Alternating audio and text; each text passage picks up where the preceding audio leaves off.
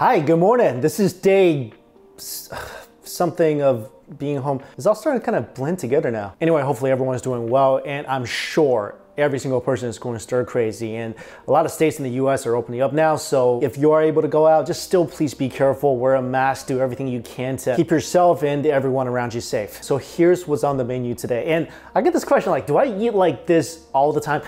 The answer is definitely not. Obviously, all the gyms are closed. I'm not able to work out like I used to. I do not eat like this all the time. So here's what I eat. Let me show you my fridge now. So I have a lot of pork belly. I'm cooking a lot of pork belly for the recipe channel. I got some eggs, more pork belly. This is where my stash is. So a ton of meat in here, enough for Korean barbecues, hot pots.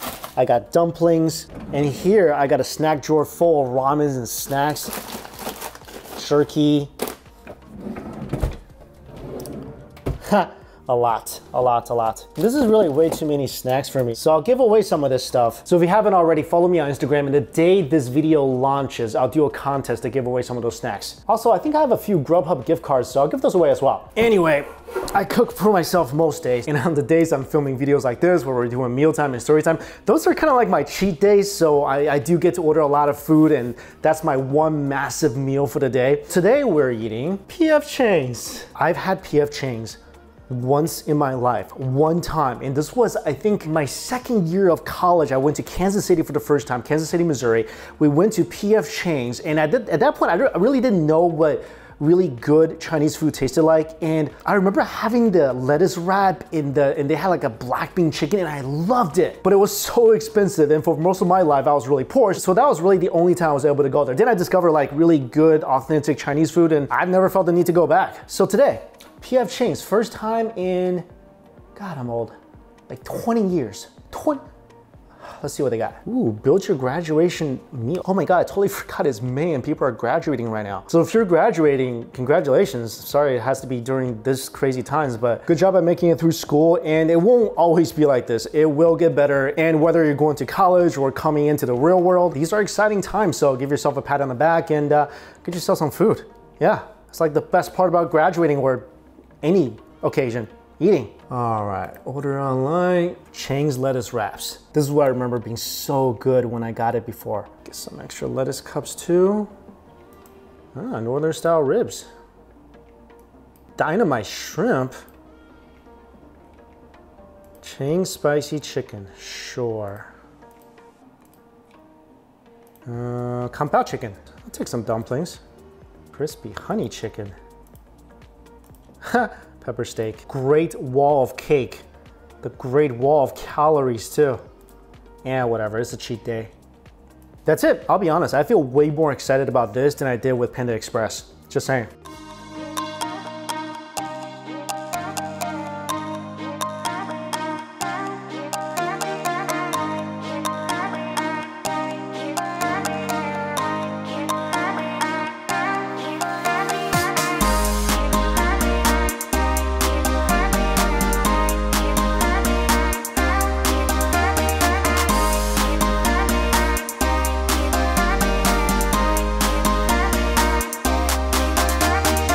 Okay, so I ordered one, two, three, four, five, six, seven dish. Ah! Oh! They didn't give me my dumpling. Oh my God. I'm so sad right now. I don't see the dumpling. There will be an Operation Dumpling Recovery after this, but I got seven dishes, eight if you're counting the little soup, and and I got a cake. And before we dig into these lettuce wraps that I haven't had for 20 years, just the biggest shout out and thank you to Surfshark VPN for sponsoring this video and supporting this channel. And if you guys don't know what a VPN is, it's a virtual private network, which is something I highly suggest that everyone gets. And Surfshark VPN is something I've been using for over a year now, so I can attest to how good they are. Especially right now when we're all stuck at home, I'm sure like we're binging through so many shows, so many videos on YouTube. A VPN will actually help you get access to different shows that you might not see on Netflix US. I mean, did you know that like different countries have different Netflix content? So if you're in Canada or Australia and you wanna watch what's on Netflix US, you can use a VPN and you'll have access to all that content. Also, I use Surfshark a lot, especially when I'm traveling because I'm accessing different Wi-Fi hotspots all over the world. God, I missed that.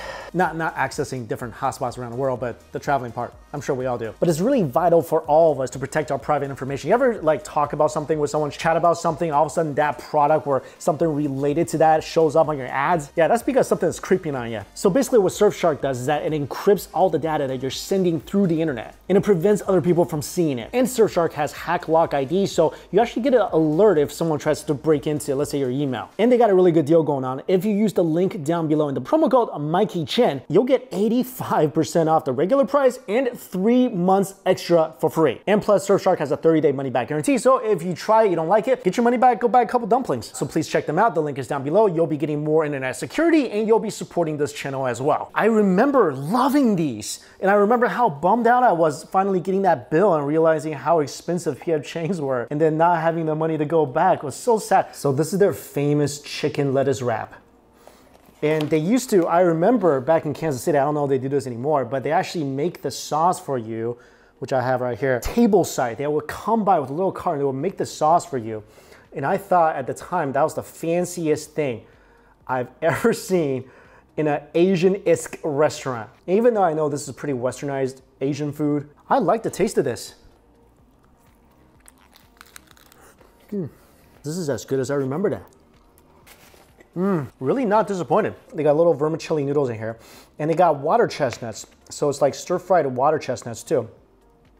And I really like the sauce, which they put a little wasabi in here. That just tastes like crunchy, savory nostalgia. This is the Poppin spicy shrimp. It's like fried shrimp with fried noodles and it's very colorful. This is not bad. Tastes like there's some kind of spicy mayo sauce on this a lot of flavor, a ton of kick. This is the pepper steak. I have like a love-hate relationship with this dish. I love it because um, it tastes good, you know? It's a lot of meat, and especially when you have this fresh, it's amazing. The reason I kind of hate it a little bit is because this is one of the few dishes my mom allowed me to eat at our buffet. So I ate so much of it. So whenever I'm home for dinner, I'm like, I'm gonna get some stuff from the buffet. She'd tell me, just get some pepper steak, because that's like relatively healthy, I guess. So I ate so much of this, I'm kind of sick of it. So I really haven't had it since I left our restaurant. By the way, yeah, I made my own white rice. They charge you 250 extra for a bowl of rice ridiculous. Make your own rice. Don't fall for that trap. That's like when I went to a fish and chips place in Australia and they charged you for ketchup. I'm, I'm sorry, tomato sauce as they call it. And my response to this and that situation was and always will be, make your own rice and before you go to fish and chips, swing by McDonald's for some free ketchup. This looks good. Big chunks of beef. I see the little bits of pepper. That's always a welcoming sight. It's good in a sort of a slimy way.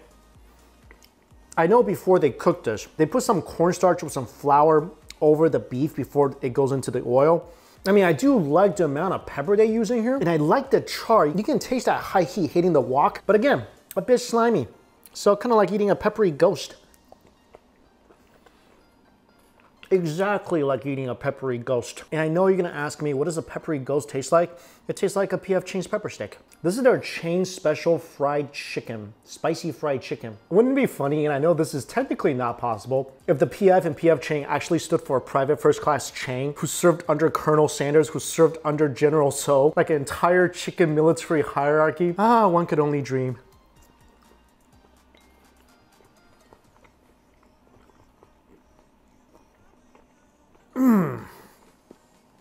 Well, I guess PF Chang is also competing in that baseball league that Panda Express is in. And I think PF Chang has a good shot of winning because definitely has more batter.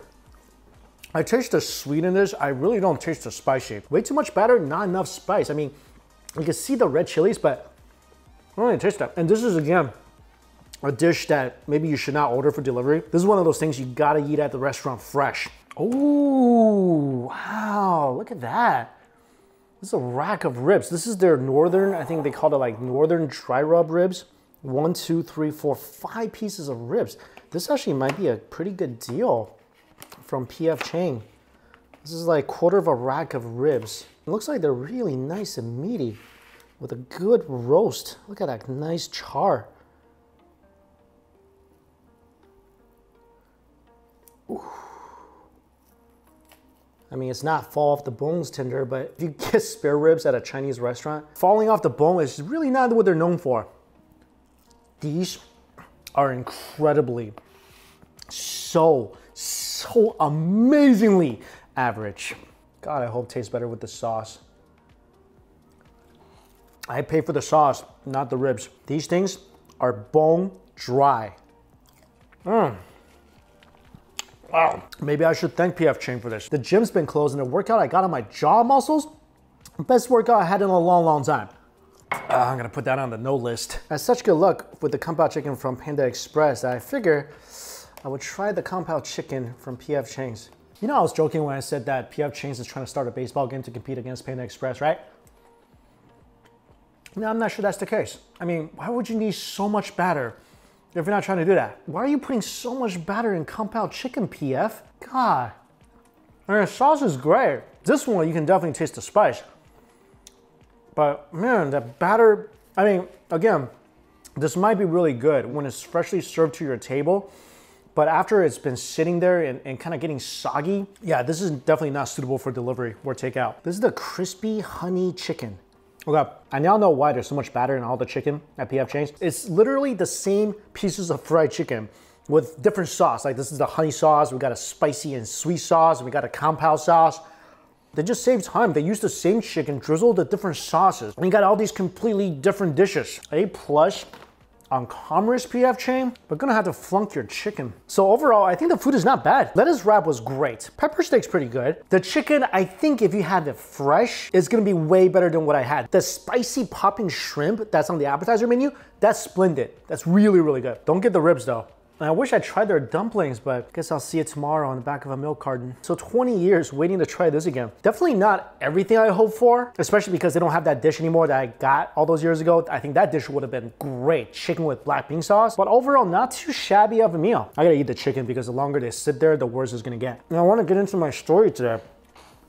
I got so much feedback from you guys saying that you love the urban legends. So I wanted to do a few videos focusing on urban legends because they are my favorite as well because I feel like every urban legend has a grain of truth behind it, no matter how small that grain is. Like that bus story I told you guys, you know that was actually in the Beijing newspapers. It was a real event that happened back then. So I told you guys scary stories from Japan, from China, from Florida. Now let's go to South Korea. All right, you guys ready? Got some food in front of you? Dim the lights, cue the scary music. Here we go. And the first urban legend goes like this. So there was a girl, young girl, early 20s, and she just has the most busy life, okay? Just work nonstop, come home, barely enough time to eat and sleep, and never had time to find a significant other. Now, I do want to say that this story supposedly happened a long time ago. So one night this girl is coming home from a long day at the office and she lives on a tall building on the 14th floor. And so she gets into the building and she's so happy because as soon as she gets into the building and pushes the elevator up button, the elevator's doors open right away. It's small things like that make people happy. So she goes into the elevator and she pushes the close button. But before the door closes, a hand reached in to stop the door. And when the elevator door opened up, it revealed a young, handsome gentleman dressed impeccably. He steps into the elevator, they make eye contact, and already the girl is blushing because she sees how handsome he is. And he gets in, their eyes meet, there's a little electricity, he smiles at her, and he asks her, What floor are you going to? She replies ever so shyly, I'm going to the 14th floor. He laughs a little and says, I live on the 13th floor, just one below you. In her mind, her mind is racing like, how come I never seen this handsome guy before in this building? I wonder if he's gonna ask me out. And before you know it, they reach the 13th floor. The young man looks at her, smiles, and says, Hope to see you again soon, and steps out the elevator. And her heart sunk. I think in the back of her mind, she was hoping that he would ask for her number or try to talk to her more. But he steps out of the elevator and starts walking down the hallway. But right before the elevator door closed, all of a sudden, he turns back and looks at her, and his expression and his face completely changed into something almost devilish. He turns to her and looks menacingly at her, at the same time reaching into his overcoat and pulls out a massive knife. And he says to her, I'll see you upstairs. Then he started laughing like a maniac and running towards the stairwell. By the time the young lady finally registered in her head what she just saw, the elevator door already closed. At that time, there was no stop button in the elevator. So the only thing she could do was wait for the elevator to go up to the 14th floor, see the door slowly open in the crazy deranged face of the young man as he raised his knife. Huh. You know what? Raised chopsticks are kind of menacing too, you know? Especially for vampires. See, this is why Asians are so smart to use chopsticks all the time. You can eat with it and at the same time defend yourself from blood-sucking demons. The next story takes us to Thailand. Sorry, since I've been doing these um, eating while telling stories videos, I haven't balanced like how to eat and talk at the same time. Like when I tell stories, I start getting really into the story and I forget to eat. But now I see the food and I want to eat, and uh, it's a delicate balance. Anyway, the next story, it's a really famous urban legend from Thailand. And supposedly this is a real story. So in the 1850s, there was a girl, her name was Nak, and she met this young man she fell in love with. His name was Mak. So they fell in love, got married, and soon after she was pregnant. But unfortunately, Mak was drafted into the army and he had to leave before the birth of his child. So finally, after years, the battle ended and Mak returned home to his village. And when he returned home, the beautiful Nak and their beautiful child went to greet him. As soon as he saw her beautiful face, all the troubles, all those days spent in battle, they all disappeared because he was finally reunited with his family once again. And they lived happily ever after for a little while. Soon Mak started noticing that all of his neighbors, all their friends, nobody came by anymore. Nobody stopped to say hi. Nobody talked to him. And wherever he went, he sees that people try to shy away from him almost like they were terrified of him. And he had no idea why this was until one day. He went out for a walk. and When he came home, he saw that his beautiful wife Nak was preparing dinner. And he just stood there looking at her through his front door, just thinking how lucky he was. All of a sudden, he saw that Nak dropped a piece of fruit. And instinctively, she reached down to pick it up. Then when she reached down to pick up the fruit, her arms extended unnaturally, almost like she was made out of elastic. If you don't know, arms extending is one of the telltale signs in Thailand that someone was a ghost. And Mak couldn't believe what he saw. He didn't know what to think. So he finally went to a neighbor's house and demanded that they tell him what was going on. Why is everyone scared of him? So they told him that after he left, Nak was giving birth to their child. She died of complications with the child in her stomach. But for some reason, her and the child came back. And anybody who tried to warn him or tell him about the truth of what was happening was always killed in the most brutal way. And that's when Mak realized that since he's been back, there's been so many weird deaths in his village and nobody knew who was responsible and now he knew. Upon learning this, Mak was terrified. He ran to a nearby temple begging the priest to do something. So the priest came and locked the spirit of Nak into a wristband that to this day is said to be kept by the royals of Thailand to forever keep away Nak's spirit from hurting people. I mean, granted, it, it sucks that your, your dead, vengeful spirit of a wife is, is killing people, but I feel like if, if she wasn't killing people, even if I knew she was a ghost, and she, we could still like live together. Like, can I can I still touch her? If I could, then why why would it matter? Like, she came back to life. Like, I mean, that's way better than what happened in Pet Sematary. At least she wasn't trying to kill him. I guess. The point is, if you ever become a ghost and you want to get back together with your living significant other, just be upfront and uh, you know stop killing people. Not too much to ask. All right, one last really short one. So back to South Korea. There's a popular legend of what's called Cheongyo Gwaesen. I'm sorry, I'm definitely pronouncing that wrong uh, what it means is it's virgin ghost. So these are girls who died and they're really ashamed of their marital status, so they can't cross over until they get married. And that's a problem because they dead. And these ghosts usually have draping long hair, dressed in a white gown, and are extremely vengeful and violent. And one of the urban legends about this ghost is short, but it's so scary. So one night there was a young man, it was a stormy night, really dark. He got home really late. So he gets home, goes into his apartment, and gets ready for bed. And as soon as he was ready to turn off the lights, there was a knock at the door. So he looks through the peephole and doesn't see anyone there. As soon as he looked away, though, someone knocked again.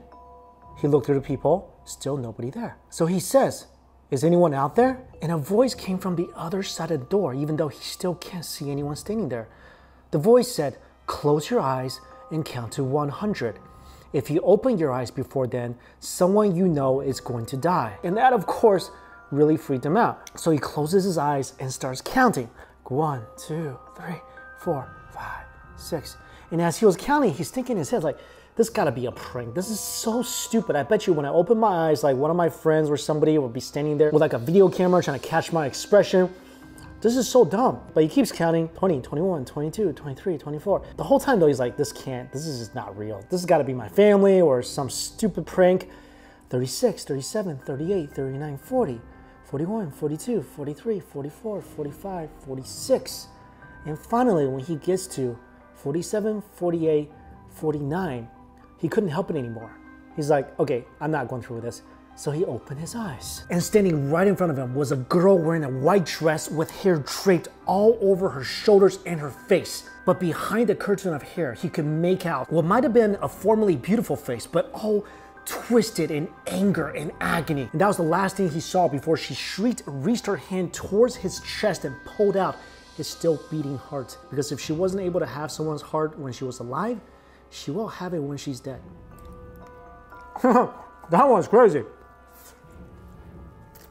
I would have counted to 100. This is just like not walking underneath a ladder or touching an object that people say are cursed. I mean, there's really no harm in trying to avoid something like this, just in case something bad happens because of it. All right, I was so into the stories. I still got so much food. Oh my God, totally forgot about this. This is the Great Wall Cake. Oh. That is a massive, massive cake. Oh my God. And this is probably not the greatest color since we've been talking about telling scary stories all day, but